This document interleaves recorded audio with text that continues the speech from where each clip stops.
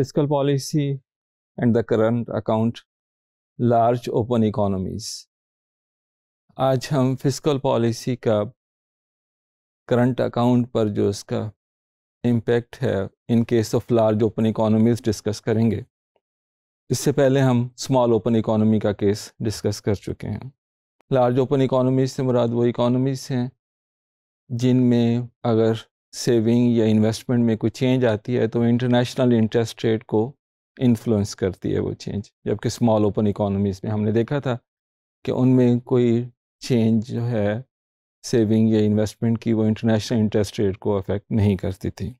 सो so, इसमें हमारी वही अदम्पशन है हम दो इकोनॉमीज लेंगे दोनों लार्ज हैं एक को आप होम इकोनॉमी और दूसरे को फॉरेन इकोनॉमी कहेंगे तो अदम्पशंस ये हैं कि an increase in the government budget deficit does affect desired national saving in the home country कि अगर गवर्नमेंट होम कंट्री में बजट डेफिसिट इंक्रीज़ करती है तो वो उसकी नेशनल सेविंग को अफेक्ट करेगी। ये ये अदम्पशन है। हम इस पर बात कर चुके हैं डिटेल में कि किन सूरतों में ये नेशनल सेविंग को अफेक्ट करती है और कौन सी ऐसी पॉसिबिलिटीज़ हैं जिनमें वो अफेक्ट नहीं करती। But here we are assuming कि वो उसको अफेक्ट कर रही है।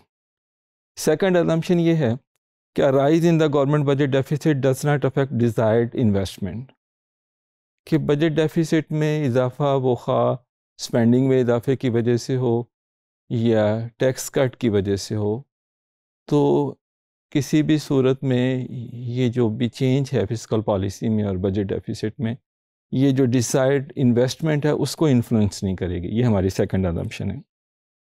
और थर्ड अदम्पशन इस केस में हम ये ले रहे हैं कि इनिशियली दोनों कंट्रीज़ दोनों लार्ज इकोनॉमीज़ हैं ठीक है? So initially both have zero balance current account balance यानी दोनों का इनिशियली जो है वो करंट अकाउंट ज़ीरो में बैलेंस ज़ीरो में है। सो so, इसका इम्पेक्ट क्या होगा? हम डायग्राम से देखते हैं फिर इसको। ये ये डायग्राम लेफ़्ट साइड की जो डायग्राम है ये होम कंट्री के लिए है और राइट right साइड की जो डायग्राम है, ये फॉरेन कंट्री के लिए। इनिशियली दोनों इकोनॉमीज इक्लिब्रियम में। Initially both are in equilibrium equilibrium means कि उनकी इन्वेस्टमेंट और सेविंग दोनों की आपस में बराबर है और ये इंटरनेशनल इंटरेस्ट रेट है जिस पर ये दोनों इनिशियली इक्लिब्रियम में।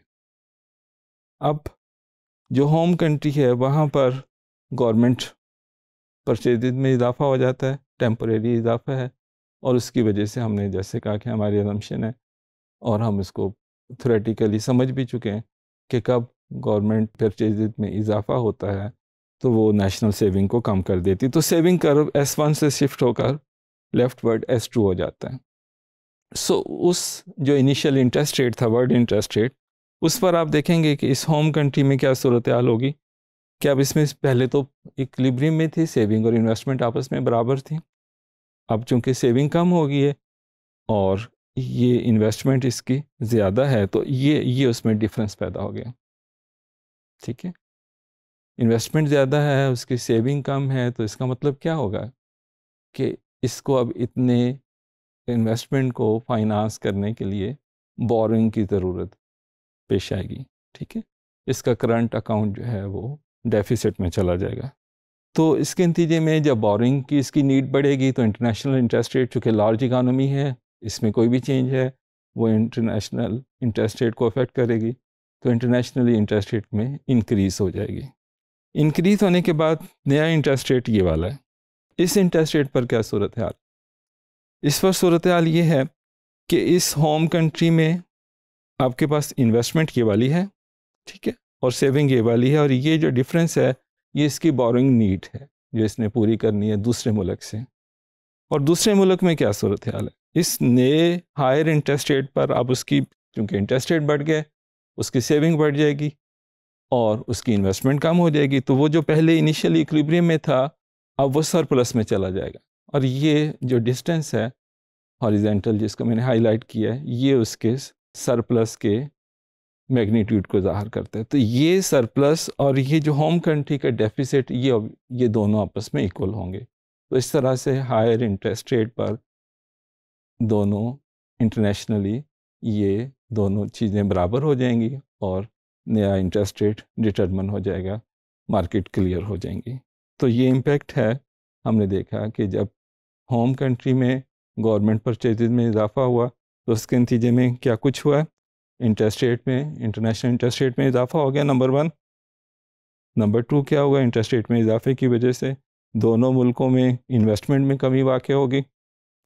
और जो फॉरेन कंट्री है, उसकी सेविंग में इजाफा हो गया। और जो होम कंट्री है, इसका करंट अकाउंट डेफिसिट में और जो फॉरेन कंट्री है, वो सरप्लस में और ये दोनों अमाउंट्स ये इसकी होम कंट्री की डेफिसिट की अमाउंट और फॉरेन कंट्री के सरप्लस की अमाउंट ये दोनों आपस में इक्वल होंगे। तो अब हम इन इफ़ेक्ट्स को देख लेते हैं दोबारा। The home country current account balance decreases deficit में हमने अभी आप देखा डायग्राम से। Foreign country current account balance increase हो गया, वो सरप्लस में चला गया। दोनों मुल्कों में इन्वेस्टमेंट कम हो गई और इंटरनेशनल इंटरेस्ट रेट जो है, ये इंक्रीज़ हो गया। ये हमने केस डिस्कस किया था जिसमें होम कंट्री में गवर्नमेंट परचेजेस के इजाफे को डिस्कस किया था। ओके अब हम दूसरा केस लेते हैं।